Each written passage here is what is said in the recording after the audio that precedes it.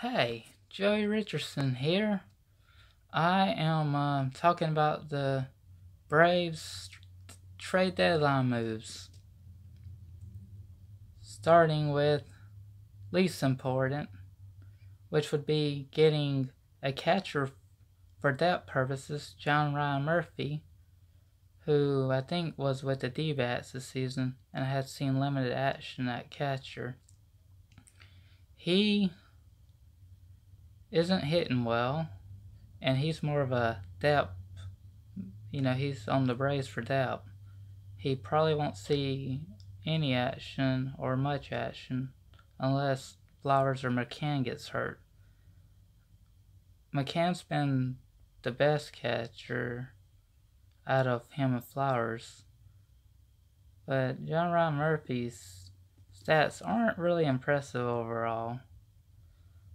He's a career 219 hitter, I believe, or something like that. So, and he doesn't.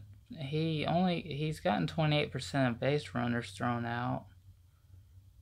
So, for his career, so that tells you he was only one of four this season. So that kind of tells you that the Braves only have him for depth in case McCann or Flowers gets injured. What I will say is we just gave cash back to the Arizona Diamondbacks. That's it.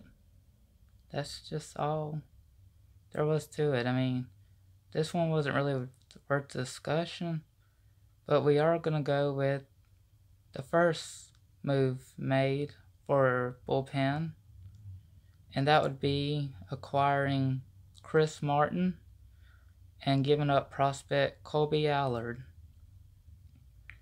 Now, I'm okay with that because I heard Allard wasn't a very promising prospect and had velocity issues with his fastball. So he um he might be a good one or well, maybe he. What I mean meant to say is, he might not have been promising in Atlanta, but he his change of scenery could help him grow as a ranger, or if he's dealt before he comes up again. He was one of the pros. He was a prospect, one of the three prospects we gave up. Well, three. I guess he was one of the three or four prospects we gave up. I think he was like we gave up three uh, between the three trades that I'm about that I'm on the first of three that I'm about to talk about. But yeah, um good bullpen help for sure. He's got four saves, but he wasn't a true closer. But is is not too bad probably be a seventh or eighth inning guy. We'll see. So I'm sure he, he is much better than some of the guys that were pitching out of the bullpen. So we'll see how Chris Martin does in a Braves uniform. So giving up Allard, uh, it's okay. So the next one I'm going to talk about is the trade made with the Giants. Nope, didn't didn't get Madison Bumgarner. Instead, we get reliever Mark Melancon, who uh, used to be a closer with Pittsburgh. Yep, he was the Pirates closer a while back, but that's been like, that seems like forever ago since he closed with the Pirates. But he, I don't even think he's a closer anymore. He's just more of a reliever type. But he, I, I, I believe this is a good boost. We give up Dan Winkler, who showed promise last year in the Bigs as a reliever, but got optioned down early this season. And uh, we did give up another prospect, and I'm trying to remember his name. Tristan Beck? Yeah, I think that's who we gave up. One of our uh, prospect. He was our number 17 prospect, I think. So yeah, he's a so we did give up a prospect and a guy who had been optioned down to AAA. So he hasn't. Dan Winkler hadn't been up since being optioned, or maybe he came up once and went back down. You know, since being optioned, but he was okay to part ways with, and it's okay that we did get rid of a prospect here. And uh, the most important bullpen tr- trade was yes, the Braves now have a legit closer, Shane Greene from the Detroit Tigers.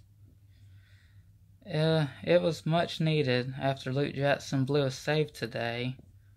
I was thinking, we we certainly do not need Luke Jackson as our closer, or we're not gonna get far in the postseason if he was to remain the closer for the rest of the season. So getting Shane Greene from the Detroit Tigers, 12 walks and 43 strikeouts. That's a good. He strikes 43. He struck out 43 batters and only walked 12 batters. That's a good strikeout to walk ratio there. I'll take it. And the ERA is not too bad either. It's either like a 1.18 or a 1.22 ERA. He's 30 years old, so we hope he can be a closer for a good while. Heck, heck, in this league, you can be a closer at 40 if you wanted to. So, heck, I'll take a 30 year old closer who's proven himself with Detroit, who actually sold at the deadline. So this was a good move. It uh the Dodgers actually wanted him too, but the Braves were were able to get him before the Dodgers could. So what did the Braves give up exactly? Um, we gave up an infield prospect and a pitching pros. I think we gave a pitching prospect. We may have given up an infield prospect as well. I don't know. But we did give up we gave up we didn't give up much. We gave up a couple of prospects, but that's what you expect. I mean Shane Greene as a legit closer with like 32 saves, I think. I mean, he had plenty of them, despite being on a team that's not very good. But Luke Jackson, well, I don't know what his role will be with the team moving forward. But getting Shane Greene and some back end bullpen pieces certainly makes you wonder where Luke Jackson will stand as part of the bullpen rotation. He might only see action if the game's out of hand or if the Braves are losing. But don't ever. I hope once we get our relievers we just traded for and our closer that I don't have to worry about Luke Jackson closing out a game again. That would be worst case scenario after these trades are made. Who to send down and who to keep up, that would be a good question as well. We'll just have to see. And I I I know we didn't trade for a starter. I know the Braves did not trade for a starter. But it's okay, y'all. Just be confident in the starters we still the Braves still have and hopefully they'll do well and maybe we do make a good postseason run. I hope we get out of the first round. Or at least we win more than one playoff game and get it just make it interesting. But I do believe with those bullpen pieces, if they perform up to standards, that is a much better bullpen than what it was before. And we didn't give up a ton, but we did give up some prospects who could have turned out well or maybe not, but you never know with prospects. But like I say, the bullpen moves were better than the catcher depth trade, which wasn't even a big deal really. But depth is important when it comes to later on in the year, so it's good to have that. So, I just want to say, y'all, I really enjoyed talking about this, and I just want to see how the rest of the season goes for Atlanta. Maybe this will make a difference, maybe it won't. We will see. Hopefully, the Braves will be able to hold at their division lead now that they got some help in the bullpen department. So, alright, so don't forget to like, subscribe, and leave a comment if you want. You can you can do all those things if you like, but it just depends on how much you like sports. So I just want to say go Braves, and hopefully we can get to a World Series or even win one. We'll see. Bye, y'all.